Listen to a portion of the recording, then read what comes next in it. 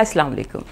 मैं हूँ आलिया नज़ीर और ये है मेरा यूट्यूब चैनल आज बात करने जा रही हूँ हमारे जो पाकिस्तान है, उसमें एक बहुत अहम मौजू के हवाले से।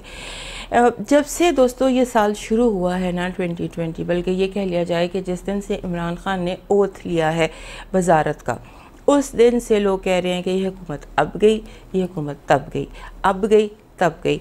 और इसके लिए बार बार हमें चैनल्स भी बुलाया जाता है, न्यूज़ शोज़ में भी बुलाया जाता है, जी, प्रिडिक्ट करें कि इमरान खान कब जाएगा। इमरान खान की जाने की तारीख बयान कीजिए। अब मुश्किल ये होती है कि हम अपनी पसंद नापसंद से कुछ नहीं कह सकते, ना ही हम अपनी वाबस्तगियों के हवाले से कुछ कह सकते हैं। हमें कहना होता है जो इल्म कह रहा है। मेरा ताल्लुक किसी पार्टी से नहीं है। लेकिन मैंने तो वही कहना है, जो इमरान खान का जायचा, उनकी लकीरें, उनके कार्ड्स कह रहे हैं, मैंने भी वही बयान करना है। तो उस हवाले से ही मैं ये बात तफसील से आज करना चाह रही हूँ, ताकि ये ऑन रिकॉर्ड आ जाए कि अब हम साल के आखिरी उसमें से माही में आ गए हैं। बहुत सारे लोगों ने तारीखें दी थी। किसी ने कहा जून में, किसी ने कहा मई में, किसी ने कहा कब, किसी ने कहा कब। लेकिन मैं कंसिस्टेंटली कहती जा रही हूँ कि इमरान ख़ान की जो हुकूमत है, ये मुद्दत पूरी करेगी तब तक जब तक इमरान ख़ान अपनी असम्बलियाँ नहीं तोड़ेंगे। 2020 की ये जो आखिरी तीन महीने हैं, इसमें भी हुकूमत बहुत डोलते, डगमगाते, गिरते, पड़ते 2020 इमरान की हुकूमत क्रॉस कर लेगी। इमरान की हुकूमत को प्रॉब्लम आएगी, प्रॉब्लम नहीं आएगी, इमरान ख़ुद अपनी हुकूमत ख़त्म करेंगे 2021 के एंड में, मे बी लेकिन फिल वक्त हम बात सिर्फ़ इस 2020 की कर रहे हैं। यहाँ पे ये लगता है कि इमरान की हुकूमत 2020 क्रॉस कर जाएगी। शुरू से ही मेरा यही स्टैंड है कि इमरान खान अपनी मुद्दत इस, ये साल जो है 2020 का, ये पूरा करेंगे। और पूरा करेंगे और जो काम वो करना चाहते हैं, ये काम वो कर गुजरेंगे। बिजली के हवाले से, गैस के हवाले से बहुत सारी चीज़ें हैं जो भी होने जा रही हैं, जैसे ही नवंबर 2020 क्रॉस करेगा, आपको ऐसे लगेगा जैसे एक दरख्त फल देने लग जाता है। काम होने लग जाते हैं, जिनकी आपको उम्मीद भी नहीं होती। बहुत सारी चीज़ें जिन्हें मैं आहिस्ता आहिस्ता अपने अगली वीडियोस में अपलोड करती रहूँगी। तो जैसे दिसंबर गुजरता है तो आप समझ लें कि हमारे मुल्क पर बाहर आ जाएगी। हमारे मुल्क में बहुत सारी तरक्की होगी, अरूज आएगा, कमाल आएगा। इमरान और नो इमरान, पाकिस्तान ने तरक्की करनी है। और मुझे ये लगता है कि ये तरक्की इमरान ख़ान के दौर में ही होगी। और एक और इंपॉर्टेंट बात करना चाहती हूँ कि एक बहुत बड़ा क्राइसिस है पाकिस्तान में बिजली का। मुझे ये लगता है कि इमरान खान के हाथों जून, जुलाई 21 में अगले साल जो गर्मियाँ आएँगी, उसमें बिजली सस्ती हो जाएगी चाइना के मॉडल पर। बिजली सस्ती होती दिखाई देती है लेकिन 2021 के मिडल में जाकर टाइम जून जुलाई का आता है यानी गर्मियों में हम आराम से अपने एसी लगाएँगे आराम से अपनी जो है इजी वक्त गुजारेंगे।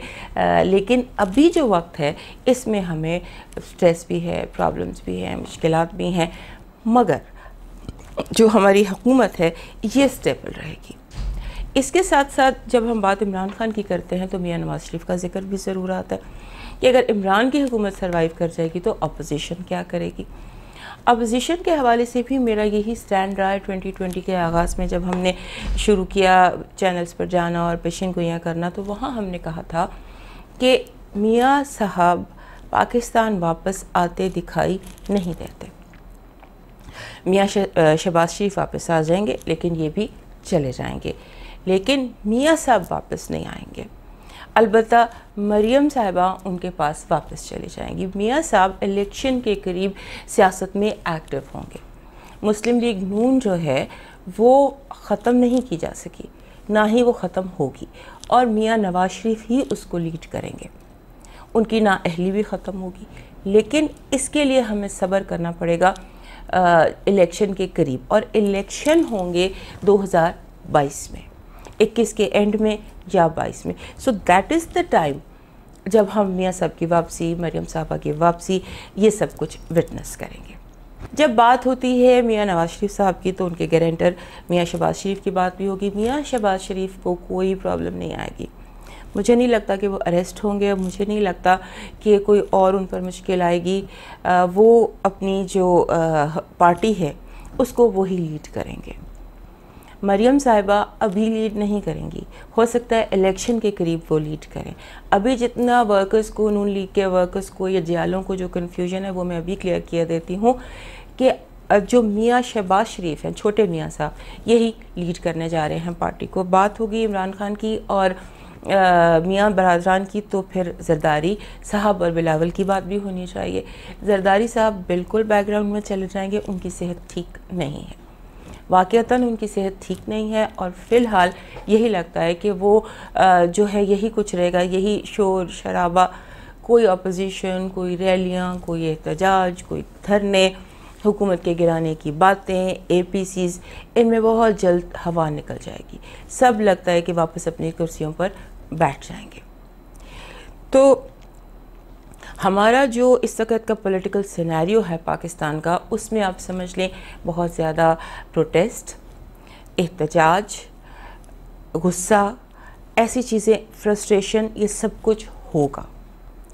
इमरान खान के लिए आसान टाइम नहीं है। लेकिन अपनी हुकूमत को लेकर वो ये साल पार कर लेंगे। तो आ, और भी अगर आप कुछ जानना चाहें मुल्क सियासत के हवाले से या इंटरनेशनल पॉलिटिक्स के हवाले से या जो भी सवाल आपके जहन में हो तो हमें ज़रूर लिखिएगा। हम उनके सवालों के जवाब भी देंगे और हमें आइंदा वीडियोस बनाने में भी आसानी होगी ताकि हमें पता चले कि आखिर आप जानना क्या चाहते हैं। तो आज तक के लिए इतना ही।